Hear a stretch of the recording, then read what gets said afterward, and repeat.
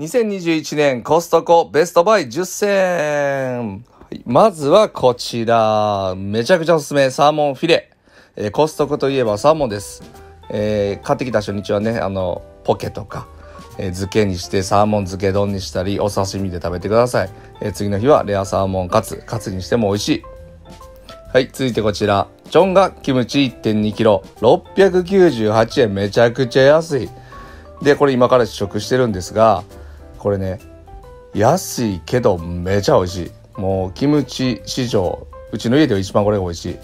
で、冷蔵庫にずっと入れてます。で、あの味なんですけど、あの魚介の味がして、もう辛いだけじゃなく旨味がめちゃくちゃある。これおすすめです。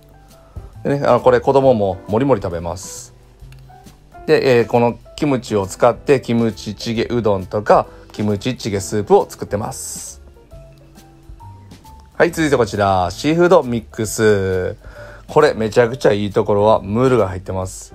なので、えーこちらでシーフードチャウダー作ったり、えー中華丼作ってみてください。これ最高です。でバラ凍結なので使いやすい。はい続いてこちら豚バラ焼肉用。これもめちゃくちゃ美味しい。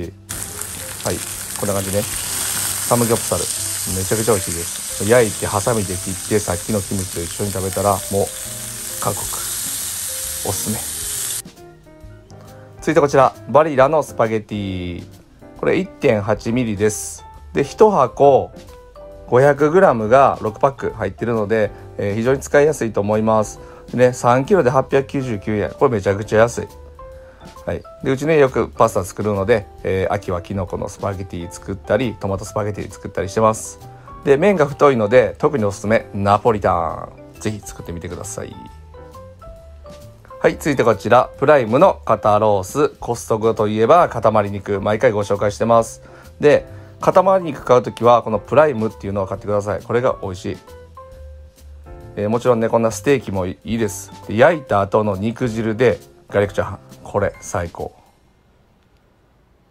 はい続いてワインです、えーうちの家はワイン飲むので、えーコストコで買います。でコストコのいいところは、えー市販で売ってるアマゾンで売ってるよりも安いもの見つけられます。ワイン好きな方ぜひコストコで買ってみてください。おすすめ。えーそしてこちらキッチンペーパー12ロールで2498円これもめっちゃいいです。えー何がいいってこれ比べてます。右のやつが100均のキッチンペーパー。大きいプラス分厚いので吸水吸水性もあるのでこれ一度使ったらもうやめられません。はい続いてこちら奥さんと子供が大好きなマカロン。これ冷凍で売ってます。24個入りでピスタチオとかチョコとかいろんな味があって、えー2時間ぐらいでね解凍できるので好きな分だけ解凍できる。